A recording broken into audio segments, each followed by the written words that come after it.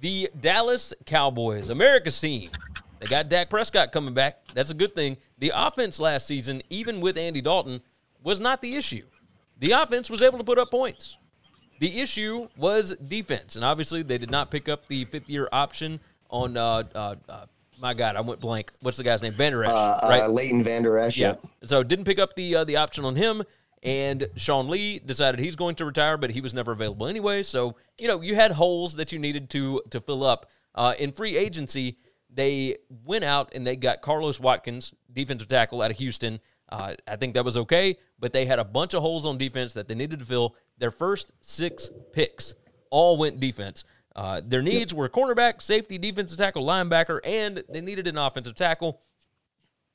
Okay, you know, tackle uh, for offense, I, I think that they've got it short up, but either way, they uh, they drafted in the first round Micah Parsons out of Penn State, who I, honestly last year I would have thought he would have been a top five guy. He is a monster, and I, getting him at twelve is an insane value pick. You you were able to move backwards and still pick this guy up. I think it's a great pick. They got Kelvin Joseph, cornerback out of Kentucky, in the second round, and he's a stud. Uh, you got defensive interior lineman Osa Odighizuwa out of UCLA in the third round. You got Chauncey Golston, edge rusher out of Iowa in the third round. Late third round, you got Nahshon Wright, cornerback out of Oregon State.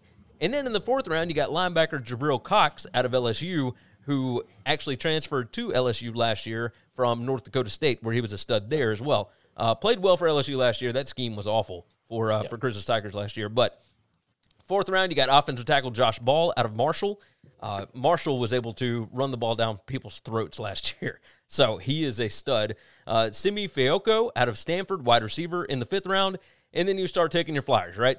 Defensive lineman Quinton Bohanna out of Kentucky, Israel Muk- uh, Mukuama, Mukuamu out of South Carolina. Uh, played well with South Carolina. I've watched him multiple times.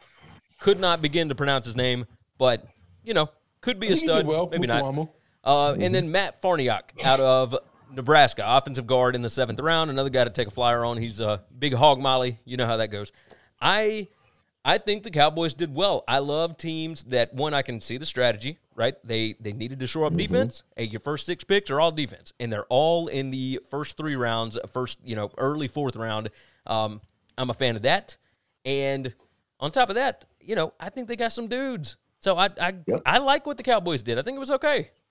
Yeah, I thought Cowboy. This is probably Jerry Jones' best draft since they got Dak in the fourth round. This is an absolutely fantastic, and it's surprising almost because we know how Jerry Jones is, and he always wants to take the flashy guy and wants to take this guy his team doesn't need, and that is not what they did. That defense was the second worst run defense in the league last year. They couldn't stop anyone in the passing game either.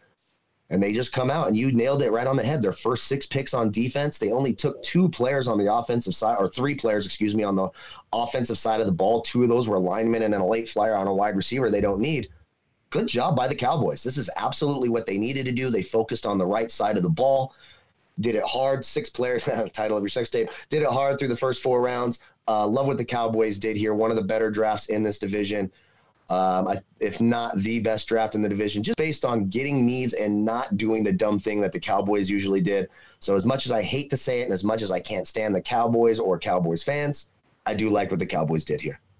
Yeah, I'm the, I'm the same way. I think they did have the best draft in this division. Um, th- this is the first time that it looks like Jerry got absolutely out of the way, and uh, people around the organization began to make picks. Um, they went after their needs. I think they filled their needs well. I like Mar- Micah Parsons a lot. I think he's going to be fine. Um, like I said, Gary said this earlier. If he came out last year, he's a top five pick. So Right. it, the fact that that he came out this year, he sat out, whatever, it was weird. It, it Wasn't there some like fight or something he incited he- or something, got- he got- and he got people drugged freaked through the mud out? a little bit. He, it was not just fight. There was uh, some hazing, Hazing, that went hap- yeah. that went on in the Gotcha. locker room that, that had some sexual allegations to it. Um, but anyway, the the cornerback from Kentucky, Joseph's going to be really good. Uh, Mark Stoops has put defensive players in the NFL, and every one of them have been absolute pros. Uh, they might not be Pro Bowl guys. But they're all making rosters. They're all starting or getting lots of snaps uh, on the teams for the last two or three years and and I think he's just going to keep doing that. He's he's turning things around in Kentucky. Love what he's doing there, um, and yeah, I, I I like what the Cowboys are doing. I don't. I don't know how much it affects wins and, and losses this year because Sure. these are all rookies. Some of them are going to come in, play well immediately, and some of them are going to take a year or two to actually have an effect on the outcome of games for this Yeah. team, which means do I think they can still score 45 a game? Probably. Do I still think they're going to get beat 48 to 45 a lot? Yeah.